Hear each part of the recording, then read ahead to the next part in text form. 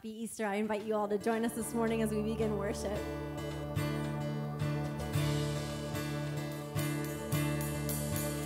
I was buried beneath my shame.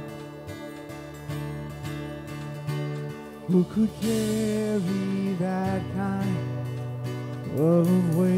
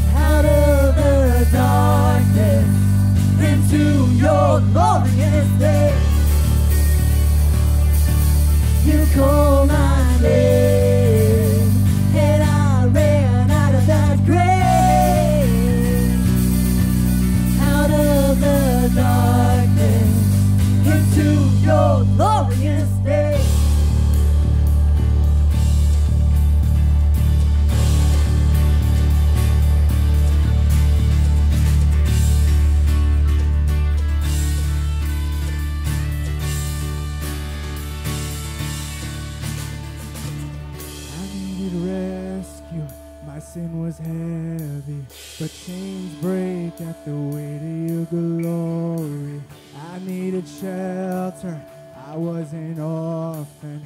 Now you call me a citizen of heaven. When I was broken, you were my healing. Now your love is the air that I'm breathing. I have a future. My eyes are open. Cause when you call my name,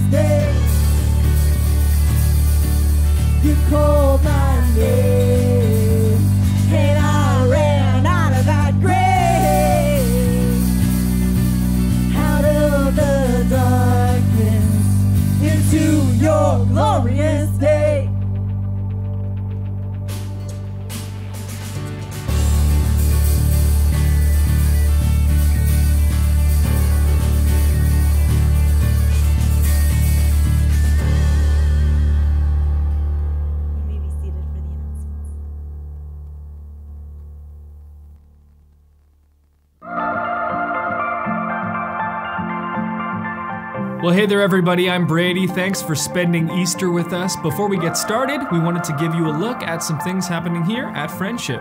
Every Sunday at 9:30 a.m., we have Christ-centered discipleship happening in our Sunday school. Using the Gospel Project, we've got age-based Bible teaching, which helps us understand the unfolding story from Genesis to Revelation. Our classes help participants of all ages study the Bible in an age-appropriate way. If you'd like to get connected to a Sunday school class, go to friendshipbc.com slash Sunday for more information. Wednesday nights are alive and active here at Friendship. We've got age based Bible teaching and discipleship training for children, students, and adults starting at 6.30 p.m. each week. Our youngest members go to Awana. Teens take part in our Overflow youth group, and adults get their hearts and minds fed through our adult Bible study. Plan to join us with the whole family this week. And for more information, go to friendshipbc.com. When you commit to regular budgeted giving, you help our ministry accomplish its goals, and you are part of the team that meets spiritual and physical needs in our broader community. The easiest way to give is through our online portal at friendshipbc.com/give. Our mission as a church only moves forward through your generosity and faithfulness. Even though some of us meet in person and some online, we don't need to be apart. You can stay connected to our church family in many different ways. If you need help either getting connected or reconnected, send us an email to info at friendshipbc.com and one of our pastors will work with you this week to find your place here at Friendship.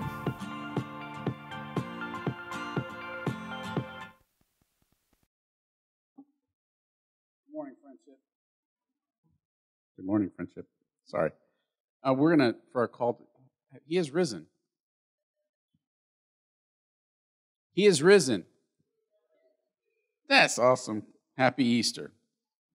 We're going to read from Romans chapter 5 as our call to worship, um, which still goes along with the uh, New City Catechism. And that we're on question 14. So if you want to turn to Romans uh, 5, we'll read, start reading in verse 12. But the New City Catechism question is Did God create us unable to keep his law? And the, response, the answer to that is uh, no. But because of disobedience of our first parents, Adam and Eve, all creation is fallen. We are all born into sin and guilt, corrupt in our nature, and unable to keep God's law. So let's read in Romans chapter 5, verse 12 on down. Therefore, just as sin came into the world through one man, and death through sin, and so death spread to all men because all sinned. For sin indeed was in the world before the law was given, but sin is not counted where there is no law. Yet death reigned from Adam to Moses, even, even over those who were sin, whose sinning was not like the transgressions of Adam, who was a type of the one who was to come. But the free gift is not like the trespass. For if many died through one man's trespass, much more have the grace of God and the free gift by the grace of the one man, Jesus Christ, abounded for many. And the free gift is not like the result of the one man's sin, for the judgment following the trespass brought condemnation. But the free gift following many trespasses brought through justification. For if, because of one man's trespass, death reigned through that one man, much more will those who receive the abundance of grace and the free gift of righteousness reign in the life through one man, Jesus Christ. Therefore, as one trespass led to condemnation for all men, so one act of righteousness leads to justification and life for all men. For by the one man's disobedience, the many were made sinners. So by one man's obedience, the many will be made righteous.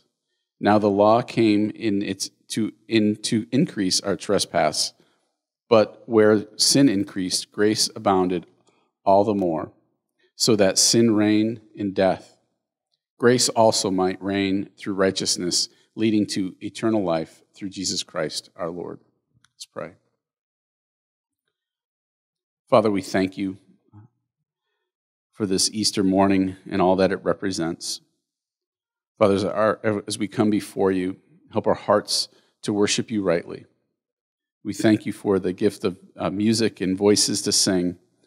Um, we thank you for your word that can be proclaimed, that we can hear from you, and our hearts can be changed, and we can follow you well. In Christ's name, amen.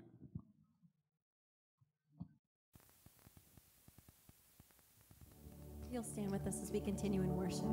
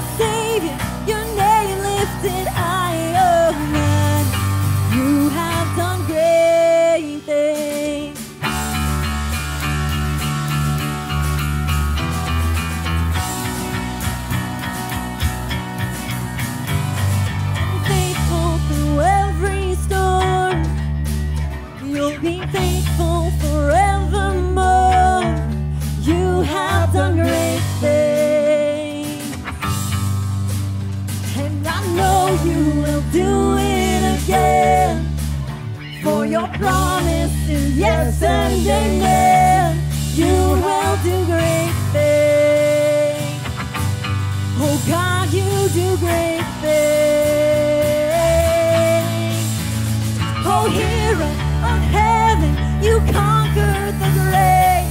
You free every captive and break every chain. Oh God, you have done great things.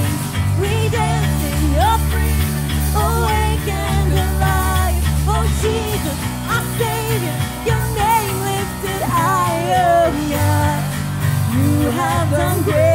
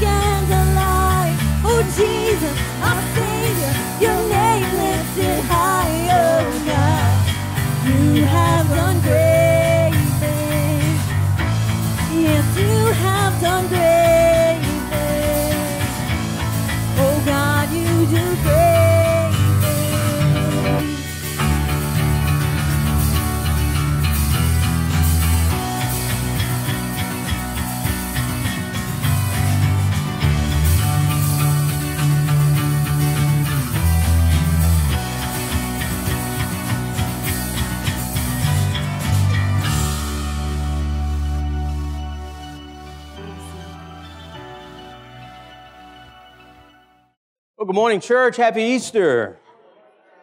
If you have your Bibles with you, I invite you to turn to the book of Luke, chapter 24. Luke, chapter 24. And if you haven't noticed, I got a really cool Easter present this morning. Isn't this cool? I feel like I'm actually a pastor now after six years. Thank you, that's fine. Uh, some of you got Easter presents this morning. I got one too, and I'm really loving this big old pulpit. Um, thanks to Dave Sears and Pastor Rob for putting it together. Um, very, very happy young man this morning, I am. Uh, Luke, enough about me. Let's go and talk about Jesus. Luke chapter 24. I'm going to pray. Father, as we gather together, we praise you for this day and for your purposes in it. We ask that you might reset our agendas and as we sit in your presence, recalibrate our intentions, refocus our hearts. Your will for our lives does not always reflect our plans, so Lord, change our plans to reflect your will. Help us understand that we don't necessarily need full clarity to walk in the unique purpose that you've laid in our lives. Lift our eyes to seek you first today and always, surrendering ourselves to you, shifting our perspectives to seek your peace and your presence above all else. In every situation we ponder in our daily lives, let the Holy Spirit show us your commands. Give us renewed strength and godly courage to obey you. Uh, forgive us for striving beyond our means, for worry, for forcing results in our lives, because only you know what lies ahead. Let peace be real to us today as we seek you more than anything else. In Jesus' name, amen. Luke chapter 24, starting in verse 36. And they were talking about these things. Jesus himself stood among them, saying, Peace to you. But they were startled and frightened and thought they saw a spirit.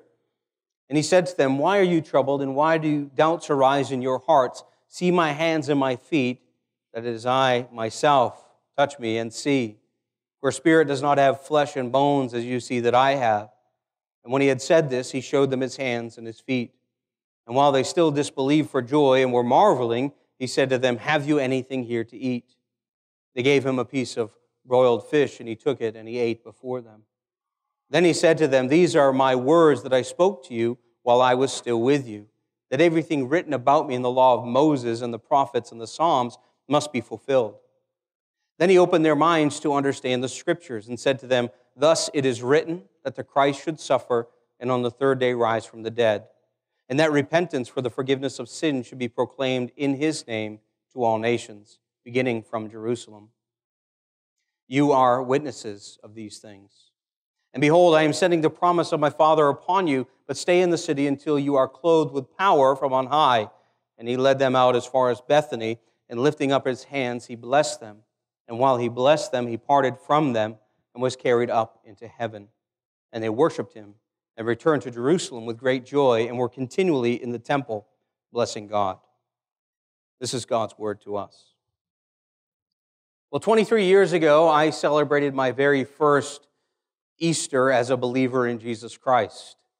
I have now officially lived half my life as a follower of Jesus. You can do the math if you're so inclined, but at the time, I had been a believer only for a handful of months, having come to know Christ just before Christmas the year earlier. Uh, Christy and I, by God's providence, attended First Baptist Church in Concord, New Hampshire. Back in 1998, it was old school Baptist church. Uh, pews, hymnals, little old men in suits smiling and greeting and shaking your hands as you entered the door, which was quite nice. Uh, we had no idea what we were doing. Uh, we were also living on a shoestring at the time, so I did my best that morning to find my cleanest dirty shirt and try to look presentable. Uh, my wife's beautiful in whatever she wears, so she was just fine. Our oldest son, who's now 23, of course, was a newborn at the time. He was in his little car seat.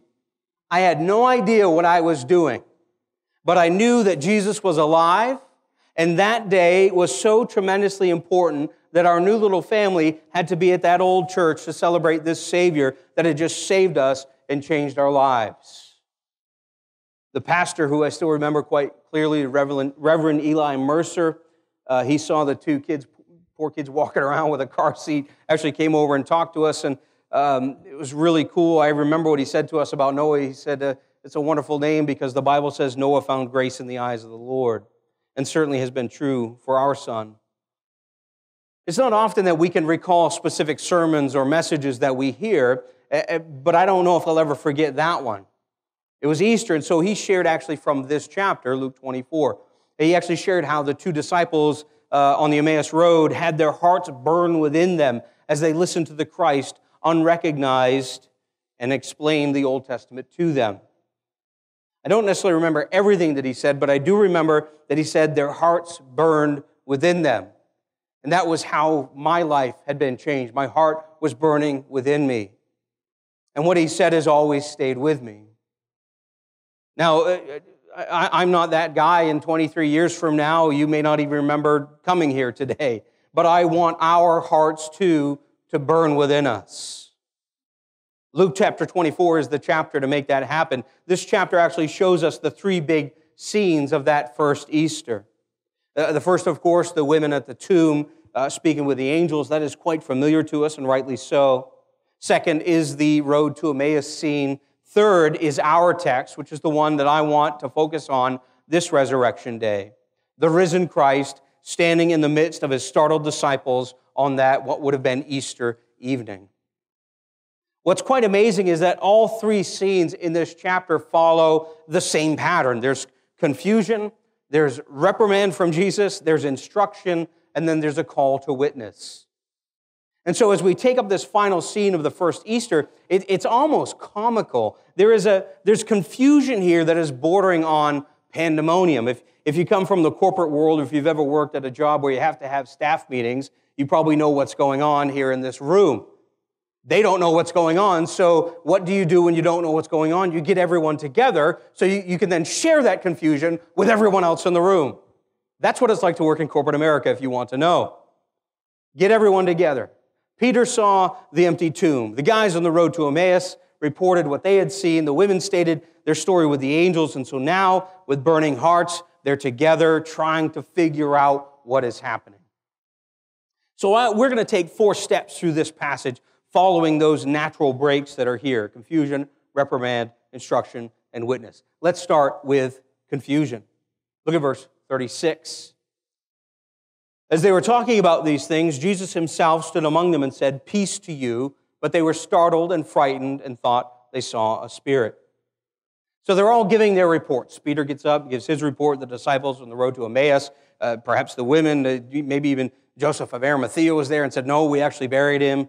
Uh, this makes no sense. Jesus is dead. I mean, we all saw it. At least John and some of the women saw it happen. The rest of us we were aware that he was entombed. We know the guy that gave us the tomb.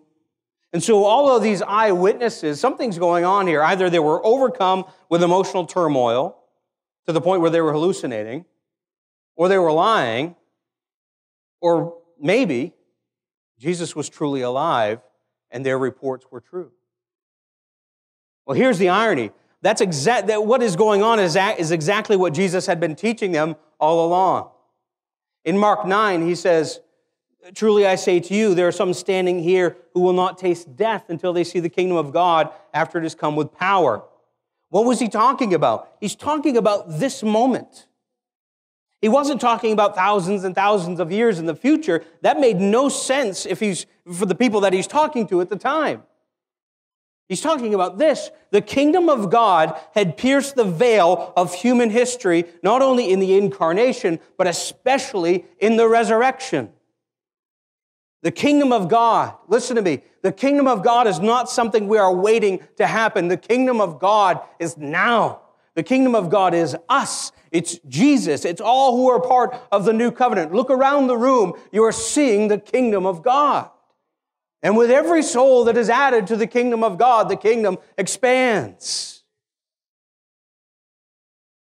Jesus said in Mark 1 Repent and believe, for the kingdom of God is at hand, and here it is.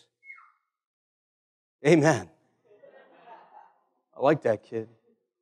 Later in Mark 9, the Bible says they went on from there and passed through Galilee, and he did not want anyone to know, for he was teaching his disciples, saying to them, The Son of Man is going to be delivered into the hands of men, and they will kill him. And when he is killed, after three days, he will rise. The Bible goes on and says, But they didn't understand what he was saying, but they were too afraid to say, What are you talking about?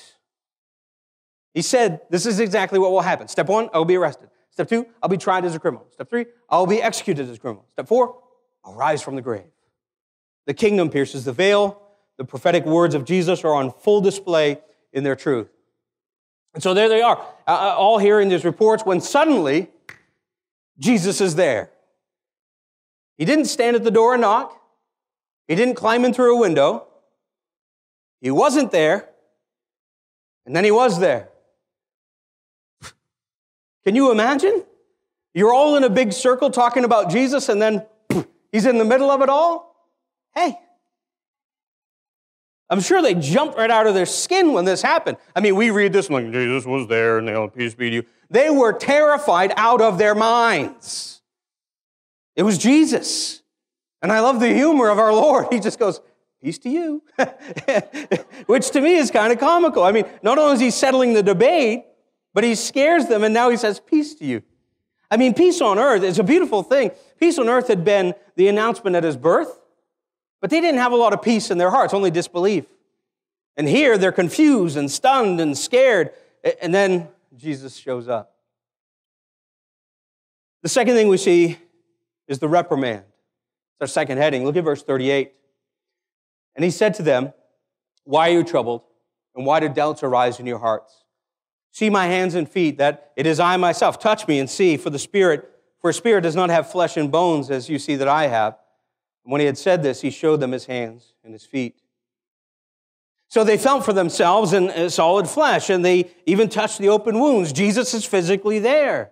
It was his body, the same one he had been using for 30 something years, but now raised to a much higher position.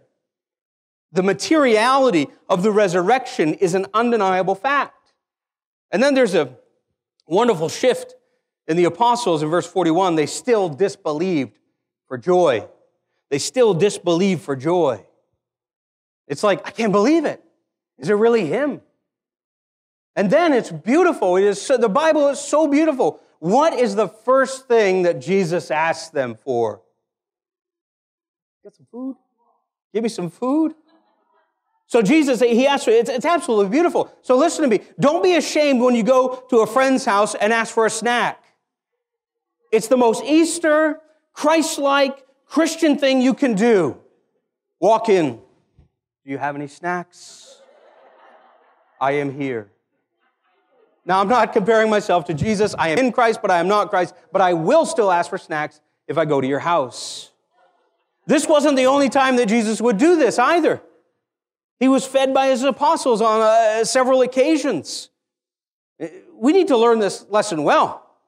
Jesus took naps. Jesus had snacks. We are vindicated, aren't we? Amen, somebody. I'm going to make t shirts. Jesus had snacks. Jesus took naps. Be like Jesus. I'll wear them. But I'm sure after this, none of the, none of the, the men present doubted, or any of them doubted the resurrection ever again. So in this reprimand, Jesus' reprimand is he's asking, Why are you troubled? Why are you so doubtful? I told you this was going to happen, and here I am. Jesus was really, what's going on here is he's preparing them for the gravity of the mission that was to follow. What we're seeing here is the course of redemptive history playing out. You could start with the incarnation of the Christ.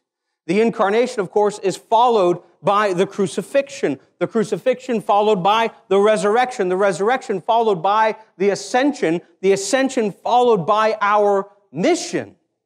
Our mission followed by Christ's return. Christ's return followed by eternity. So there's this plan of redemption that's taking place here.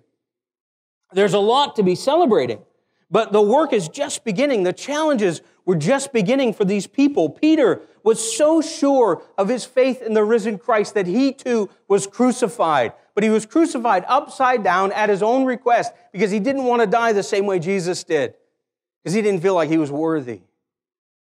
Andrew and Bartholomew and Thomas were killed. Uh, modern day India and even uh, the Soviet Union, it's not the Soviet Union anymore, whatever they call themselves today, but they brought the gospel to the ends of the earth and they died for it. Philip would take the gospel to Africa. He would be put to death in Africa. Matthew, the tax collector, uh, and the writer of the gospel records, took the, the ministered in Ethiopia, history tells us, and he too was killed for the sake of the gospel. James is reckoned to have ministered in Syria, where Josephus, the first century historian, tells us that he was not only stoned to death, they, after they finished stoning him, they put him over on the other side and they clubbed him to death again. They killed him twice, I guess. So the fate of the, and the same thing happened to the others as well. John, the writer of the book of John and the Revelation, he's the only one of the apostles generally thought to have died a natural death in his old age. During the persecution of one of the subsequent Roman governors, John was exiled to the Isle of Patmos, and that's where he would receive the revelation from the ascended Christ. But each of the 11, and then of course the 12, Matthias, who would be added later, they left families and careers, traveling to distant countries, declaring that Jesus died and came back to life. And for that proclamation, they were beaten, imprisoned, and killed. Did they have any basis for declaring that Jesus was alive? Yes, because they saw it. They were witnesses to it. It is undisputed that the tomb was empty. And then there's a lot of controversy from the skeptic saying, well, the apostles likely only stole his body. But if the disciples made it all up, each of them allowed himself to be executed for what they knew to be a lie. It doesn't make any sense. Who would die for something they knew was a lie? What does make sense, though, is historical fact. Jesus was humiliated, beaten, whipped, nailed to the cross where he died on display before the public. A spear was thrust into his side to make sure that he was dead. He was buried in a stone tomb. Roman soldiers guarded the tomb assigned by the religious establishment. But on the third day, the guards had fled, the tomb was open, and the only thing remaining was some burial clothes.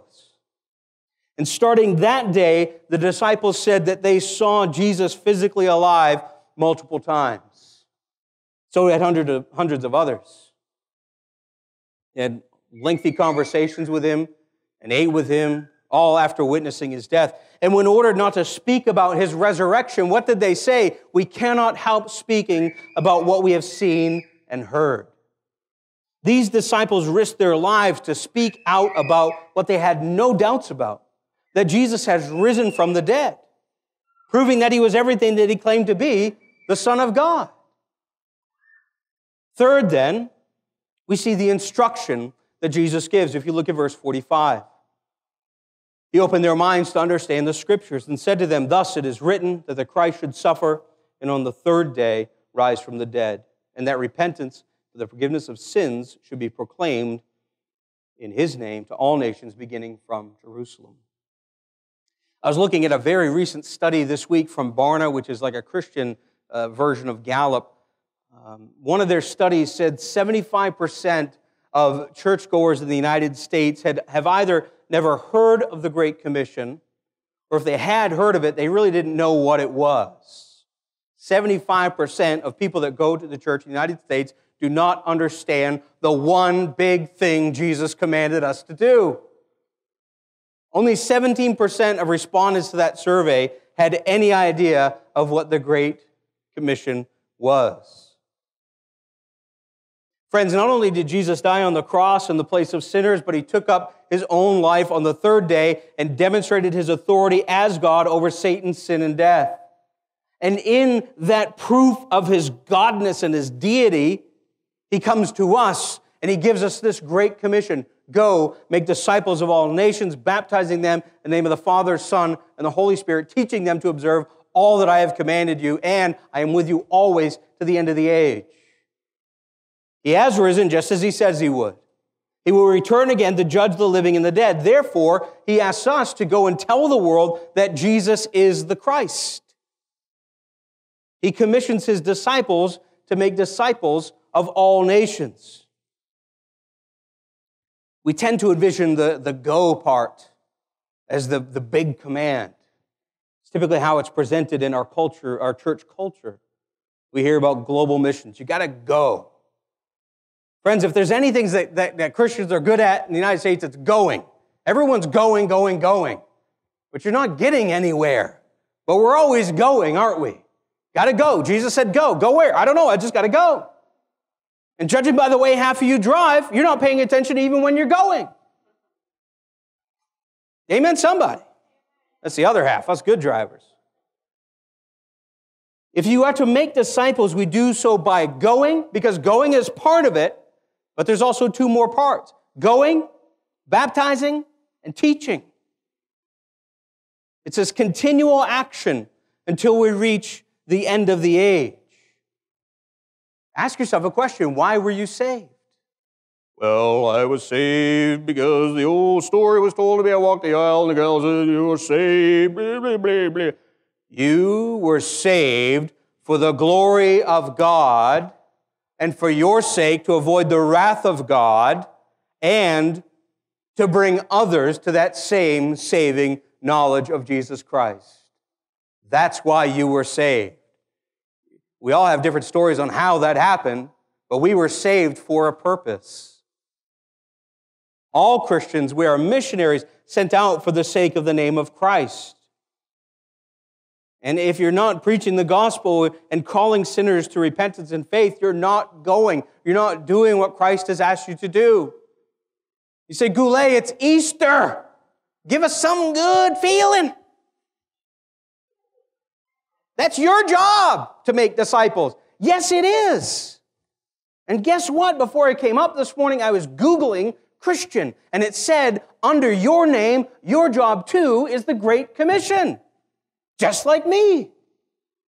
I certainly get the unique ability to, uh, to, to do what I do in a special way week after week in this context, but it is our job. It is our job. And you Patriots fans in here, you'll recognize our logo. Do your job. Who wants to see revival take place? Everyone tells me, oh, I want to see revival take place, Pastor. You want to take place. Do your job and it will. The only way for revival to take place is for Christians to be about the business that Jesus has given us. Who wants to see the next generation love Jesus and serve him? Do your job. What's the job? It's the gospel. It's sharing the gospel message. We must be saved from the judgment of God due to our sin. All are separated from God due to our sin. We need to repent of our sin and believe in Jesus Christ. Jesus rising from the grave was God's way of saying everything that Jesus said about himself is true. Repent of your sin and believe in him. Church, do your job. We are going, we're baptizing, and we're teaching. And when I say we, I mean we. The content of this teaching is specifically everything that Jesus has commanded us. In essence, in essence, it's the entire body of doctrine we call the faith. Everything from Genesis to Revelation. Jesus doesn't want us to learn five verses and nothing else in our life ever. He wants us to know the whole of Scripture. It's one of the reasons we take three years to go through a single book of the Bible here. It's not because I want to bore you to tears. Maybe that happens. It's because I want you to know the Scripture. We want you to know the Scripture because it's all geared towards our teaching and our maturity, and so the body of Christ can be effective in our culture. And friends, if we're not going, and baptizing, and teaching, we're just not doing our job. But here's the good news, church. The promise given to us is that we seek to fulfill each aspect of the Great Commission, but Jesus Christ is with us even to the end of the age. God blesses us in the work that He commands us to do. He hasn't left us to do this alone. Jesus says the actual promise is His presence with us as we do the great work. The duration of the blessing is till Jesus returns. We do our job. Why? That repentance for the forgiveness of sins should be proclaimed in his name to all nations. Fourth heading then is witness. Look at verse 48. It says, You are witnesses of these things, and behold, I am sending the promise of the Father upon you, but stay in the city until you are clothed with power from on high. And he led them out as far as Bethany. Lifting up his hands, he blessed them. And while he blessed them, he parted from them and was carried up to heaven. C.S. Lewis talking about the ascension of the Christ. He said the disciples first saw a short vertical movement, then a vague luminosity, and then nothing. That's exactly what they saw. That was a translation of Jesus locally and bodily from this earth into the very presence of his Father, seated now at his right hand. Jesus, his, his humanity didn't evaporate when he went back into glory. It's a very real translation of his resurrected human body to the throne of God where he will dwell until the great day of judgment. And it would take years and years and years to outline all the significant ways that Jesus is currently ruling and how that affects us every day. I mean, for starters, I think of one obvious way this world has become clown world. Absolute clown world. Just turn on the news. It's straight up clown world, isn't it? It's like every day you're waiting for the next headline to come out about how it's even more clown world than it was yesterday. Is that offensive? I don't care. It's clown world. It's very true. Crime, the unintended consequences of the sexual revolutionaries, the, the tension and strife that is everywhere poverty, famine, racism, hatred, lies, deceit. So we can look at all of that and think, well, it doesn't seem like grace is winning.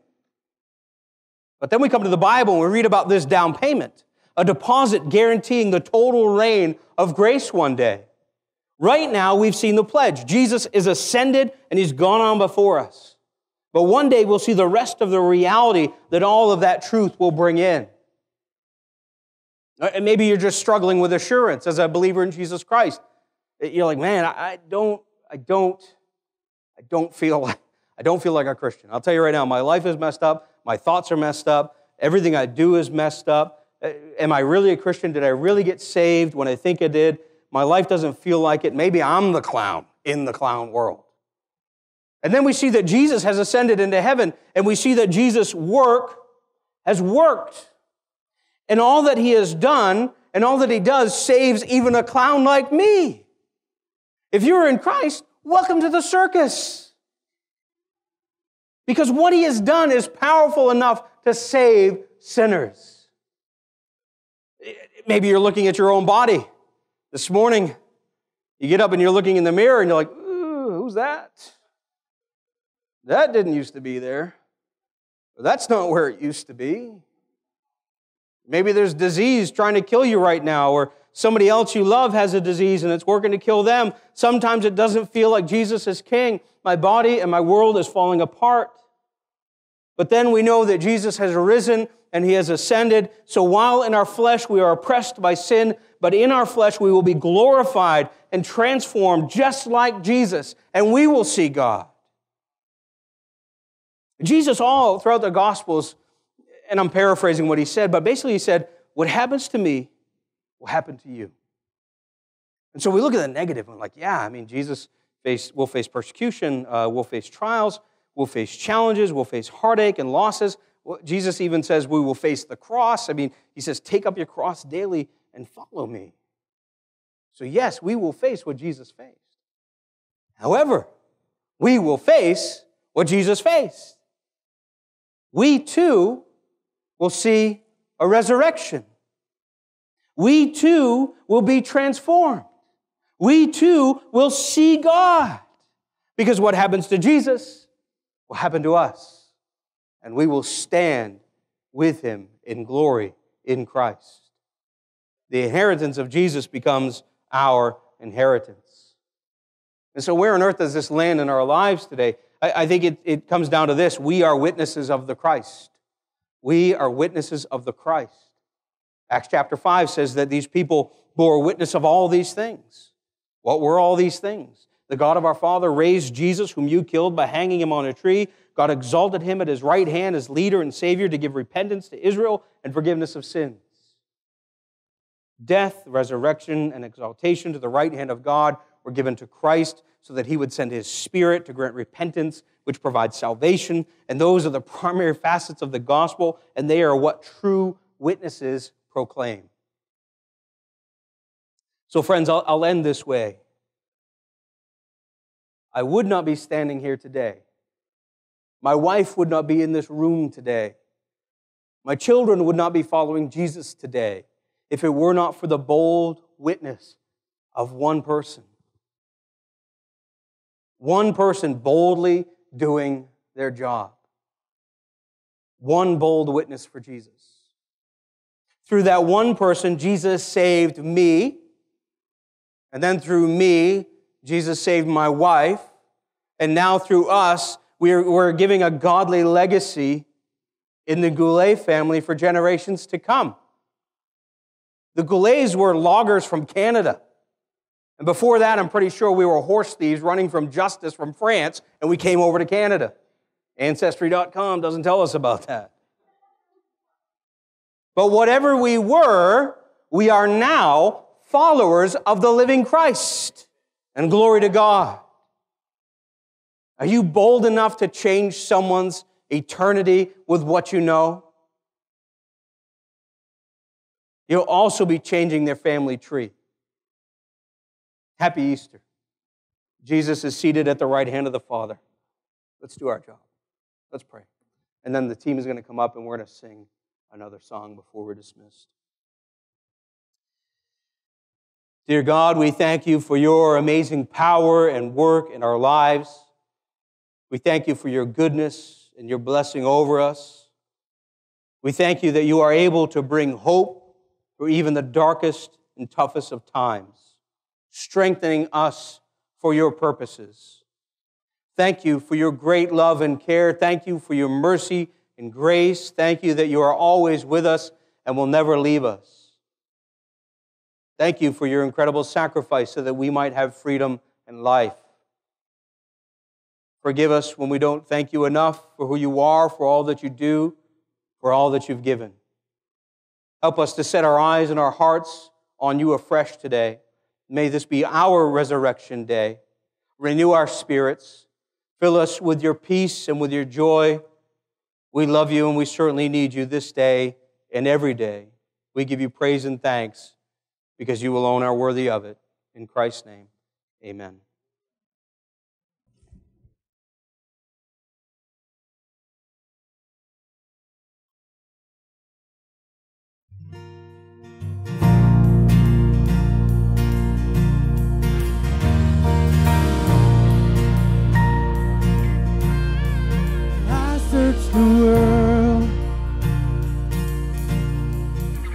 Couldn't fill me. Man's empty brain and treasures that fade are never enough. And you came along and put me back together.